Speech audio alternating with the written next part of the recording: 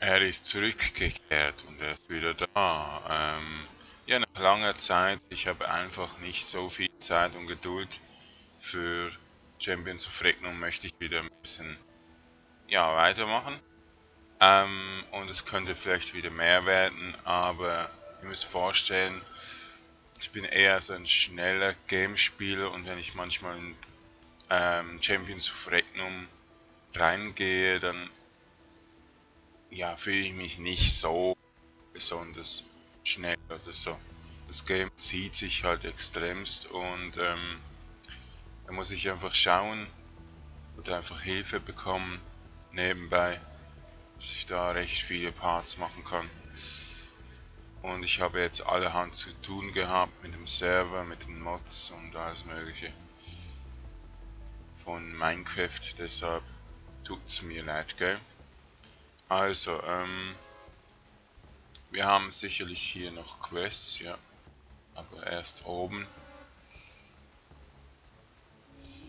Ja, also eben James of Regnung interessiert mich natürlich noch immer groß, aber naja, ich kenne langsam von den Leuten einfach diese Art Depression oder so, das Spiel auslöst oder so. Weil alle Spiele, äh, die ich anrede, wollen irgendwie nichts sagen oder sind schon schlimm gezeichnet, weil sie einfach nichts machen können. Das Crafting hat eigentlich eher das Gegenteil ausgelöst, dass es einfach gekommen ist. Und dann haben sie es ein bisschen gemacht. Dann wurden sie noch süchtiger und durch diese Sucht konnten sie also andere Sachen nicht mehr machen. Und deshalb sind sie jetzt deprimierter als vorher. Also nur mal so. Also das Spiel tut nicht mit Spielspaß trotzen. Das ist klar. Aber hey, ähm, es ist ein gutes Spiel, es hat viel Nostalgie-Gefühle, deshalb will ich spielen. Auch wenn ich es nicht viel bringen kann. Und sonst kann ich wirklich mal im Livestream zeigen, aber ihr müsst es wollen. Also ihr müsst sagen, wenn ihr es wollt, gell? So mit vier Knochen. Schlecht mit das Trompuhr gibt aller Reis im Zahn. Toltar, Blut von Toltar. Da hat's Toltare, ne? Okay. So, mal gucken. Äh, das kannst du glaube ich annehmen. Und ich starte mal den Angriff.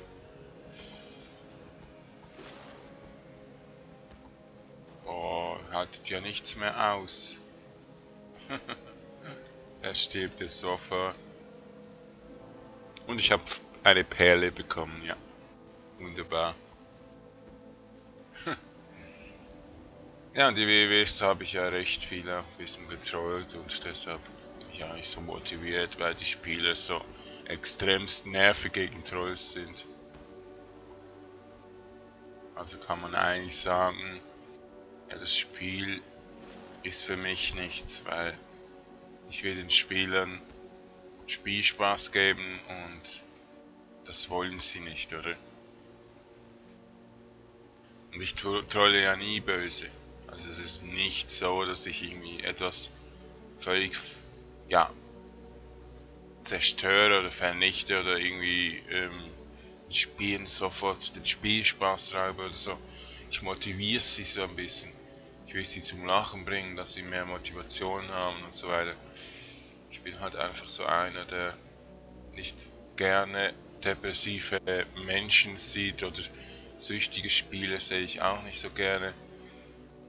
Deshalb tue ich ja auch immer nur eigentlich aufnehmen und dann mache ich es wieder auf die Seite das Spiel. Das sind wirklich nur 30 Minuten, das geht perfekt. Also wir haben zwei total getötet, jetzt können wir echt zurück. Gut. Hm. Ja, es ist halt schwer, also ein Spiel zu spielen, das euch nicht liegt. Es ist, es ist wie, ähm, also man sieht es vor allem hier in ähm, Champions of Regnum, es ist wie ein Falsch, eine Bürde sozusagen. Und ähm, trotzdem möchte man es natürlich unbedingt. Aber sieht, oh ja, um dieses Spiel noch viel weiter zu spielen, müsstest du noch 20 Jahre spielen oder so.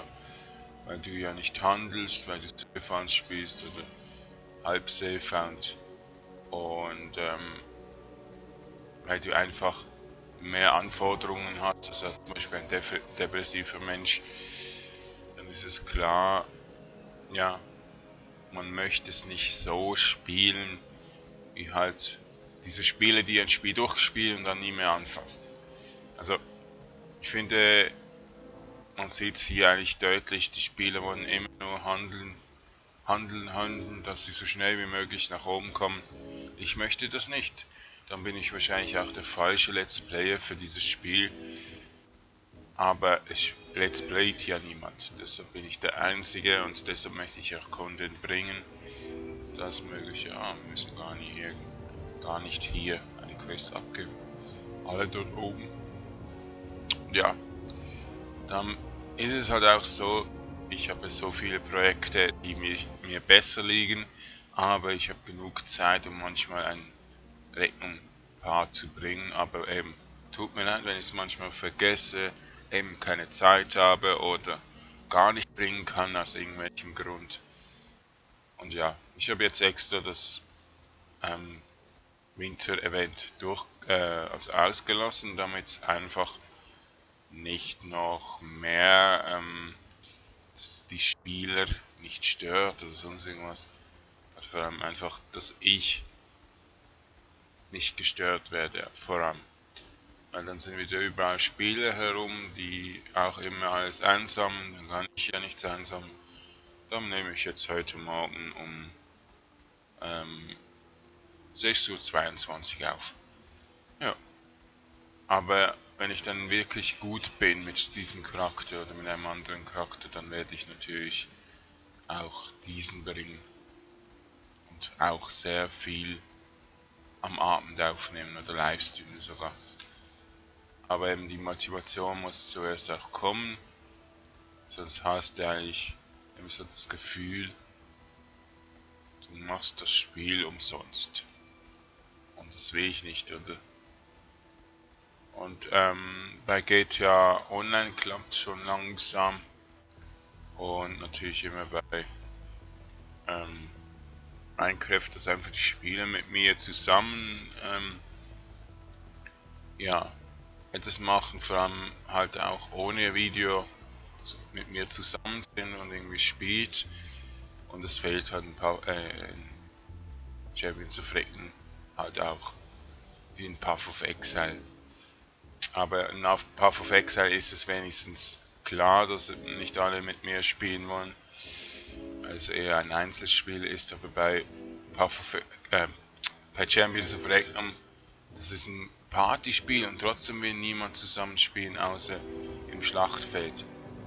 Und deshalb ja, geht es auch hier nicht so gut. Deshalb habe ich ja fast nie Mitspieler, auch weil sie nicht immer mit mir irgendwie zusammen oder warten wollen oder ja, einfach Dinge machen wollen, oder? Ah, jetzt müssen wir eigentlich schon weiter nach Allerhead. Geht eigentlich direkt nach Allerhead oder müssen wir hier noch irgendwas töten. Aber mit Knochen interagieren müssen wir noch, okay. Hm. Ich bin ja nicht der beste Let's Player oder so, dass ich sagen kann, ich mache jetzt das Spiel und das durchgehend, da ich ja so viel Geld verdiene und so.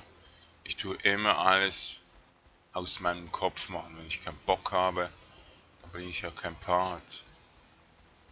Oder wenn ich an Weihnachtsbaum kann da irgendwas machen. Also wenn ich jetzt wirklich sage, nee, es bringt nicht jetzt aufzunehmen. Was, so viel Gold? Ich glaube, ich muss Weihnachtsbäume suchen. Ähm, ja, ich... Ich kann ja, wenn ich ja sehe, dass die Sp äh, Zuschauer nicht zuschauen, dann bin ich halt auch ein bisschen am überlegen, jetzt soll ich das machen oder soll ich das nicht machen und wenn die Spiele dann wirklich auch zeigen, dass sie wirklich nicht schauen wollen, mache ich die Parts auch weniger, also viel. tue ich mir lieber etwas anderes ein bisschen nach vorne setzen. Ich habe immer so einen Plan und Regnum ist halt leider recht weit hinten momentan. Er hat auch nichts, also es wird geschaut. Das ist das Einzige, das mich eigentlich noch motiviert, weil man hat einfach entweder ein Spiel gern oder ein Spiel halt nicht so gern. Und dann ist noch dieses Nostalgiegefühl. Und dieses Nostalgiegefühl ist einfach das Einzige, das mich eigentlich noch richtig hart motiviert. Aber das macht eigentlich bei einem Let's Play auch nicht so viel Sinn. Weil man kann es meistens nicht selber irgendwie abgeben. Also, dass irgendjemand dann genau weiß, was ich meine mit Nostalgie und solche Sachen. Ich spiele auch Dungeon Siege 1, aber da kommt leider auch momentan nichts, weil die Aufrufe wirklich gering sind. Und genau das ist das gleiche, oder? Tja. Aber eben wenn irgendwas bringt, dann sagt es mir. Solange ihr halt euch ein bisschen schüchtern verhält oder einfach nicht wollt, dann habt ihr halt nicht das, was ihr unbedingt wollt bei mir, sondern eher das Gegenteil. Oder, ähm, naja, es wird nicht erfüllt, was ihr eigentlich wollt, oder von mir. Aber wenn ihr das sagt, dann, dann kann ich mich an euch anpassen. Passen. Also da, dann schaue ich auf euch. Aber wenn ihr eben das nicht sagt, dann kann ich ja nicht wissen, dass ihr irgendwas wollt. Das ist es, oder? Aber irgendwie haben wir hier fast keine Knochen. Da oben ist wieder einer. Und ja. Gehen wir mal runter ins Gebiet, ins Dunkle. Nachher noch. Vielleicht hat es dort noch einen Weihnachtsbaum. Ja, hier haben wir schon ein paar mehr Knochen. Ganz am Rand. Am Rande des Schicksalsberges.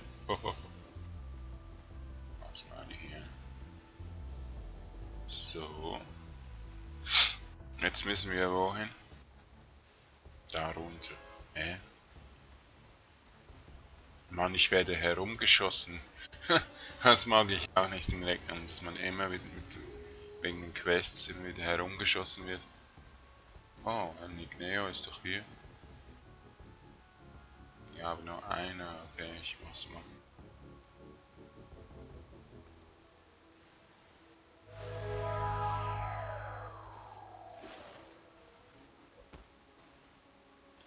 Also es macht jetzt wirklich nach einiger Pause wieder ein bisschen mehr Spaß, aber ich merke es gerade wieder, dass ich da nicht gerade so viel lange Spaß haben werde.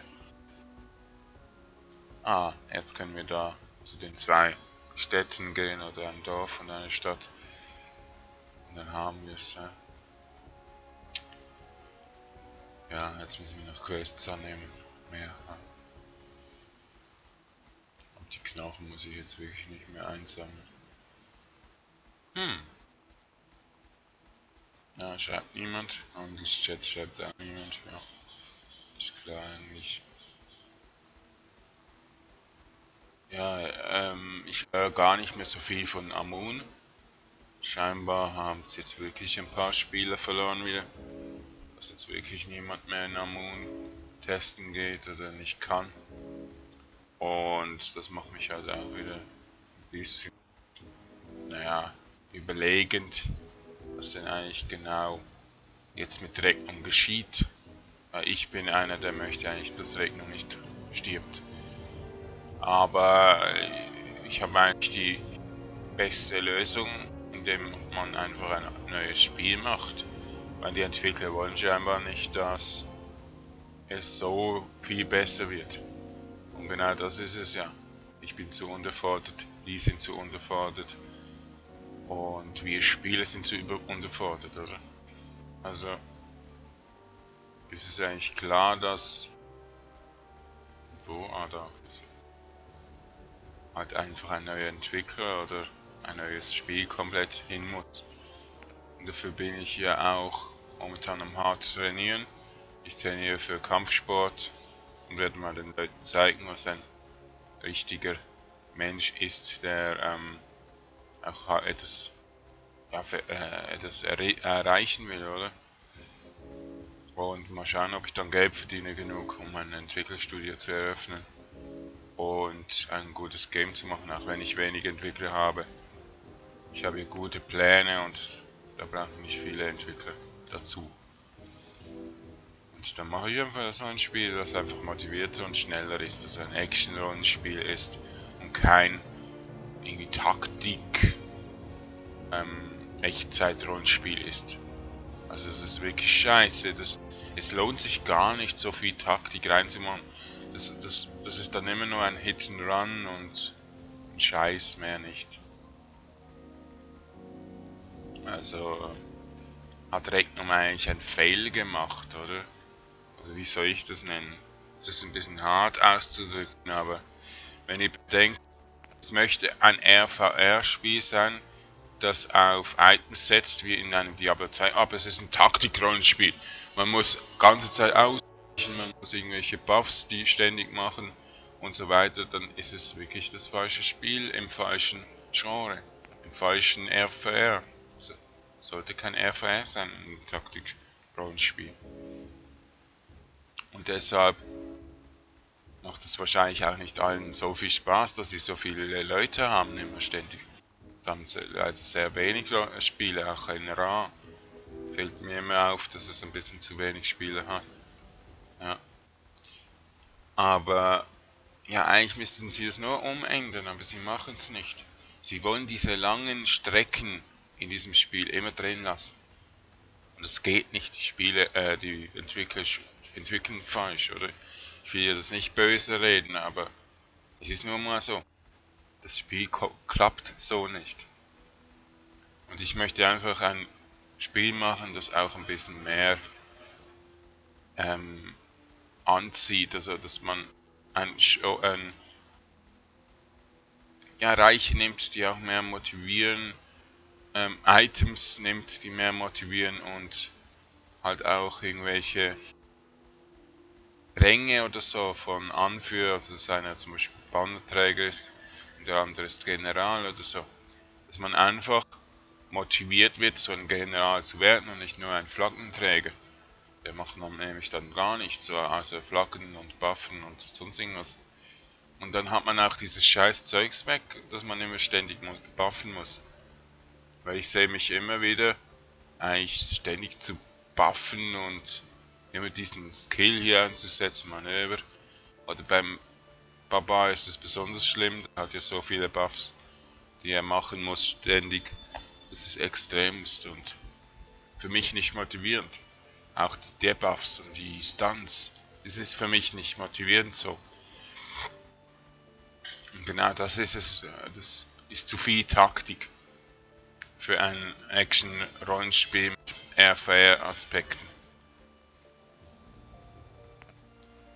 Ja, aber trotzdem, es tut mich nicht vertreiben, niemals. Also, ich habe jetzt bisher immer wieder zurückgefunden in den Champions of Ring und möchte es auch, dass ich mich zurecht äh, finde. So, jetzt tun wir noch ein bisschen, die letzten zwölf Minuten ein bisschen herumschauen, ob wir irgendwo einen Tannenbaum noch finden. Und sammeln noch ein bisschen Erz ein. Und danach, ja, geht es dann wieder ein bisschen. Einige Zeit, aber wahrscheinlich nur so zwei Tage, weil wenn es wirklich über 30 Aufrufe bekommt, dann mache ich das den Part sofort. Ja, dann sehe ich auch, dass es sich lohnt.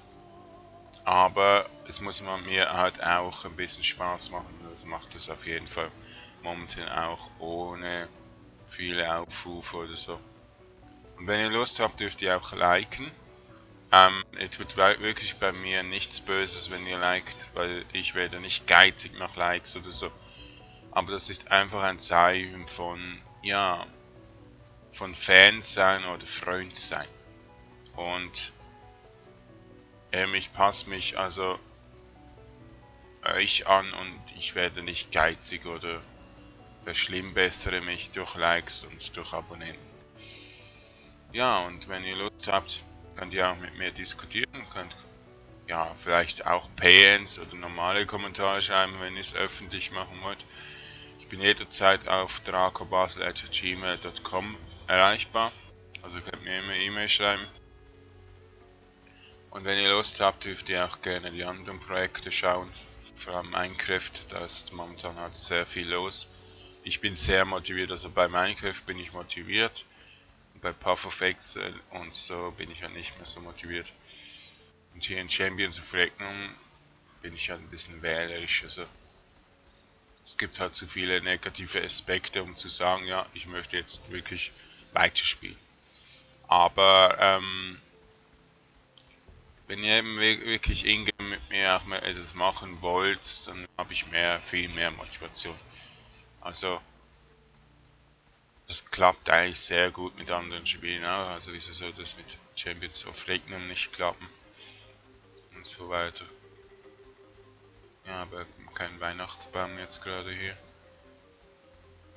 Hm. Ein Path of Exile ist sozusagen mein zweitbestes Lieblingsspiel, das ich am zweitöftesten bringe, weil es halt einfach motiviert durch diese Geschwindigkeit und den Item sammeln. Was bringt es hier, ein, ein, ein violettes Item zu haben, das schlechte Stats hat? In, in, in Path of Exile haben die wenigstens super Stats, oder? Dass man es wirklich belohnt wird, aber hier hat nur oh, muss have, mehr nicht. Also wirklich, man hat's und dann hat's man eigentlich nie mehr an sich oder so. Also man hat eben ein sehr gutes, aber ja, da kannst du 10 Milliarden Stunden farmen und du findest nie was.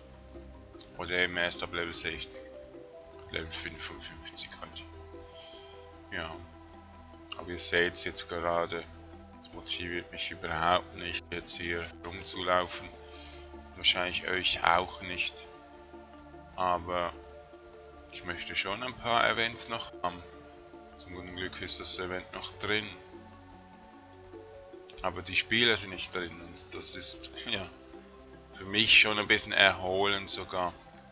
Damit ich einfach Let's Playen kann und nicht immer genau dann aufnehmen muss, wenn keine Spieler online sind oder gleich gerade keine Spieler, sondern mega süchtig sind und immer alles einsammeln müssen. Für mich wegsammeln müssen. Hä? Tja. Sonst muss ich das Spiel wirklich mal auf einem anderen Server spielen, wo niemand drin ist.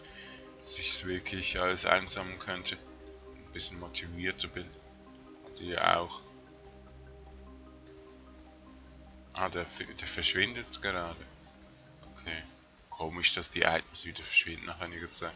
Ja, schon klar, aber man kann ja pro Region ein Limit machen, aber die Entwickler sind auch dazu zu, zu dumm oder so. Also haben eben Probleme mit dem Quellcode vom Spiel. Deshalb machen sie wahrscheinlich das Spiel auch nicht mehr so viel weiter. Aber hey, entweder ist es eine Ausrede oder es ist einfach ein Marketing, dass man einfach sagt, nein, das Spiel hat nichts mehr wert. Wir machen Handyspiele. NGD macht immer Handyspiele. Also sind es wirklich fast die schlechtesten Entwickler, die für dieses Spiel in Frage kommen könnten. Also kauft am besten einfach gar kein Zeug mehr hin. Und tut so, als würdet ihr wirklich nichts mehr unterstützen Regeln. Weil wirklich, ich unterstütze auch nur Games, die ich wirklich auch sehe. Ich kaufe keine Games von Ubisoft, ich kaufe keine Games von Blizzard mehr, weil ich einfach diese Entwickler als nicht fähig, irgendwas mit meinem Geld anzu fangen, wissen, oder? Weil genau die suchen ja immer wieder neue Chancen, wo sie mehr neue Spiele motivieren können und so weiter und nicht die alten Huhnen, die alten Hühnen, meine ich, ähm, Diablo 2 zu zocken lassen oder so. Ja, geht nicht mehr. Wir gehen jetzt noch kurz, ähm, ja, wir haben nur noch 16 Minuten Zeit, aber wir gehen noch kurz Richtung äh, den Anfangsgebiet, vielleicht hat es dort ein... Ah, dort ist ein... Ein Quest. Machen wir die gleich nochmal kurz. Dann machen wir im nächsten Part noch ein bisschen weiter. Also ich schaue, dass ich jetzt vielleicht sogar morgen oder übermorgen noch ein paar bringen kann. Hä? Und dann mal Level 30 werde. Und aber wirklich mein Beileid eigentlich an euch, dass ich wirklich nicht motiviert bin. Ich, ich, ich werde nicht mit depressiv, oder? Ich will einfach das Spiel nicht spielen, wenn es nicht so klappt. Also wenn, wenn das Spiel halt einfach für mich nicht gerade ist. Das ist wahrscheinlich bei euch auch so, dass ein Spiel einfach für euch momentan nichts ist und ihr spielt es nicht oder weil es zu alt ist oder sonst irgendwas.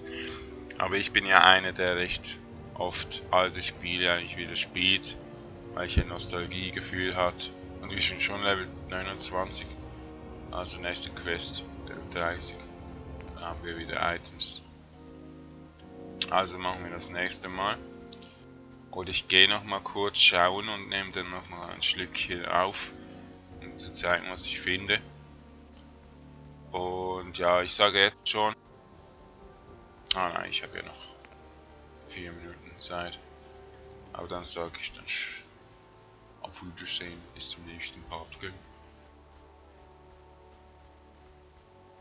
Es anschauen wollt, natürlich.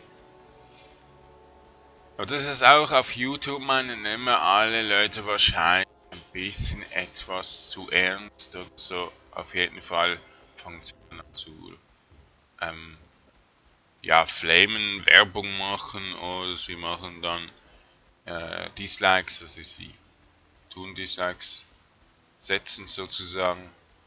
Und das finde find ich eigentlich absolut eine Frechheit. Ich sehe immer wieder Let's Player, die extrem viele Dislikes haben. Wieso? Wieso müssen... Ja, vor allem vorher bei Brillibi, der hat ein Minecraft-Video Projekt gemacht und macht jetzt wenig andere Projekte, jetzt müssen alle ihn disliken. Was ist, wenn ich würde kein Regnum mehr spielen und dann alle Regnum Sucht ist, dann würden mich disliken, dann würde ich auch mega Ding. Also versetzt euch einfach mal diese Situation zu, zu euch, oder? What? Ja, das ist eine Kerze. Das sah aus wie ein kaputter Tannenbaum. Also eben, es ist nun mal so, dass man Dislikes eigentlich nur eventuell durch Machtdemonstration und durch Langeweile setzt.